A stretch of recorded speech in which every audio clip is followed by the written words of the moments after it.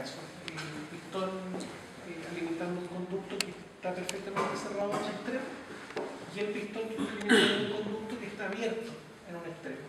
Esos son como los dos casos de resonancia más tradicionales podemos tener con conducto, abierto en un extremo o Ahora, eh, cuando ustedes vean la teoría de electroacústica, por ejemplo, se van a dar cuenta que los conductos tienen una especie de corrección. No sé, los que han hecho electroacústica acá, Ahí.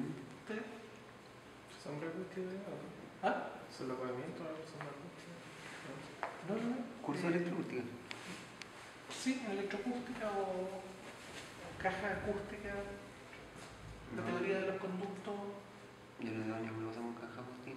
Creo que te pude tocar electroacústica el año pasado.